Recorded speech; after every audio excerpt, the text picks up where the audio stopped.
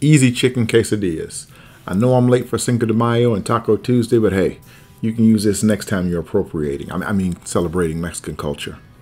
Start off with one fully deboned and chopped rotisserie chicken from Costco, or in my case, HEB.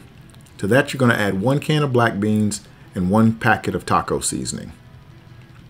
Shred about 24 ounces of Monterey Jack and sharp cheddar cheese and add a handful to your meat. Then you're going to saute and add one chopped onion. The beans and the onion are optional, but they will add a lot of texture to your final product. Stir that in really well, get that mixed. Uh, then you're going to use burrito sized tortillas. I lay the tortilla in a skillet on medium high and layer shredded cheese, meat mixture, and then more cheese. Then I fold the other half of the tortilla over. Brown on both sides. Cut it into triangles. Serve with any combination of sauce, salsa, pico de gallo, crema, or whatever you like. It's all going to taste good. Enjoy.